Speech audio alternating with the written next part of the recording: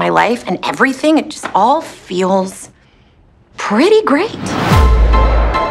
Since I quit drinking, I've been making changes. You have throw pillows? It's like somebody lives here. You're an important part of my life. You know, maybe we should move in together. Hello, gorgeous. Hello, beauty. You seem very put together. Do I? We should hang out in Berlin. I actually have to work when I get there. You have work in Germany? It literally feels like you're living in a spy novel. What's going on, Cass? I'm an asset for the CIA. I know we said no more secrets, but you were just about to guess it anyway. What does it matter? Cassie, I was like literally nowhere close to figuring that out. My family always said I was the bad child. There are a lot of weird things going on around me.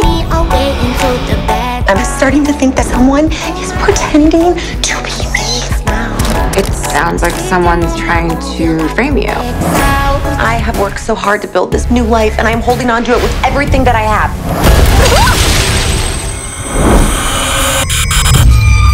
Are you? Are you me? Oh God, don't answer that. What, you think you're gonna find some hot dead guy in here again? what the? Feel like I always do the wrong. Who the hell is that? That is a black hole of joy. Uh, who are you? I'm you, silly. If you made better choices. Yes, I'm always gonna be the bad child. Do you know how badly I want to drink? You do the same.